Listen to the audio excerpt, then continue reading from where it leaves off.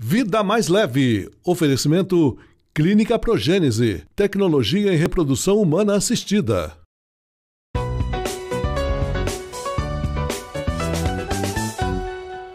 Olá pessoal, boa tarde, tudo bem com vocês? Estamos de volta com o nosso quadro Vida Mais Leve. Que bom ter você conosco em mais um sábado.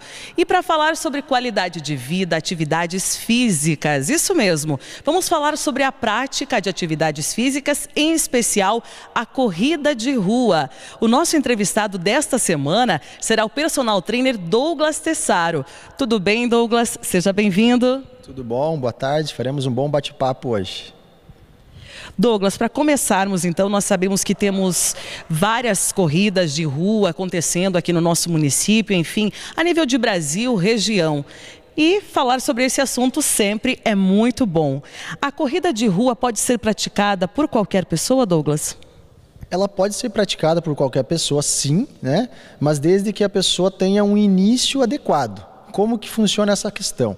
Por exemplo, uma pessoa que tem sobrepeso, que tem alguns quilos a mais, ela deve tomar alguns cuidados. Quais são eles? Ela deve fazer uma avaliação física para ver a que nível ela está, se ela sente dor nas articulações, joelhos, tornozelos, canela, né? Porque não adianta você pegar uma pessoa às vezes que já está parada e começar a correr, porque ela vai sentir muita dor. E ao invés dela ter um processo para iniciar e ter uma melhora, uma continuidade, ela vai bloquear por sentir muita dor e não vai gostar da corrida. Então, pode correr, mas da maneira correta. Primeiro fazer um fortalecimento, pensar de maneira mais ampla, não simplesmente sair correndo. E como ela influencia na melhoria da nossa qualidade de vida, na nossa saúde, Douglas? É, essa questão ela é, ela é bem ampla, né? Porque muda de pessoa para pessoa. Tem pessoas que têm resultados com relação a emagrecimento, tem pessoas que têm é, ansiedade e na corrida enxergam ou acham uma questão para ter uma certa fuga, para esquecer os problemas do dia a dia. Então isso vai, vai ser muito específico de pessoa para pessoa. Douglas, e quais as dicas para quem quer começar a praticar a corrida, para quem tem insegurança ou vergonha? Quais são essas dicas? A dica principal é procurar um profissional da área. Hoje na nossa região aqui do sudoeste do Paraná, né, a gente tem muitos profissionais capacitados, formados, com muitos cursos na área. Então eu acho que seria buscar uma assessoria de corrida. É claro que também a gente é, fala e demonstra para as pessoas, tenta incentivar as pessoas a começarem a caminhar, fazer pequenas corridas de forma, é, às vezes, é, sozinha, né? Porque a gente tem muitos locais para isso hoje no nosso município. Mas, de certo modo, vai chegar um momento que o teu corpo vai se estabilizar, vai parar e você não vai mais ver evolução. É aí que você deveria buscar, deve buscar uma assessoria de corrida. E aqui no nosso município nós temos muitos morros, Douglas. E isso muitas vezes pode ser um fator até que impede as pessoas ou dificulta a prática da corrida. Como as pessoas devem encarar essa, vamos dizer, esses morros? Como as pessoas devem é, praticar a atividade? É, em que espaço seria o melhor? É, exatamente. A nossa região, é, ela tem morros, bastante subida. Normalmente uma pessoa iniciante, a gente tende a ensinar, incentivar a buscar o quê? Treinar em pistas, em ruas sem muita inclinação.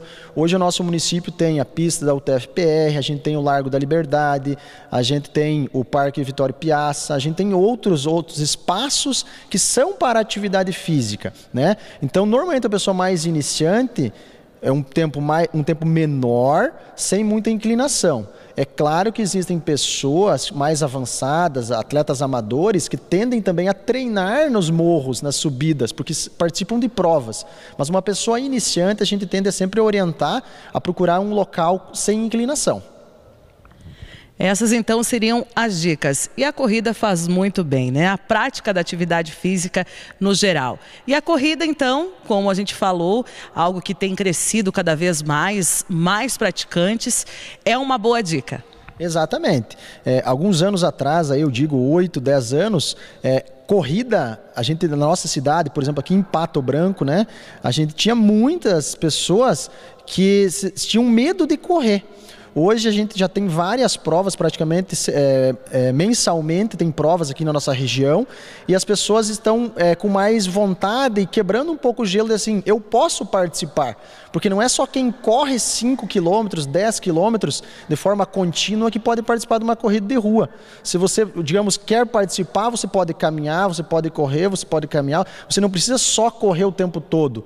Então eu convido aí o indivíduo, a pessoa que está em casa, que quer começar, é, busque os profissionais aqui do, do nosso município, da nossa região e venha conhecer a corrida de rua, porque não é só para atleta a corrida, né? Existem muitos atletas na nossa região, mas eu vejo que às vezes você vai se descobrir na corrida. Venha você também, né, fazer parte deste grupo dos corredores. A prática da corrida é muito importante, faz muito bem à saúde. E como o Douglas falou, não é só para atletas não. Que tal começar agora mesmo?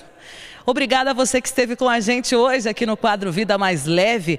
Lembrando que se você tem uma sugestão para o nosso quadro, é só você enviar o seu e-mail para vidamaisleve@redeselinalta.com.br. E não esqueça, viva a vida mais leve sempre. Até o próximo sábado.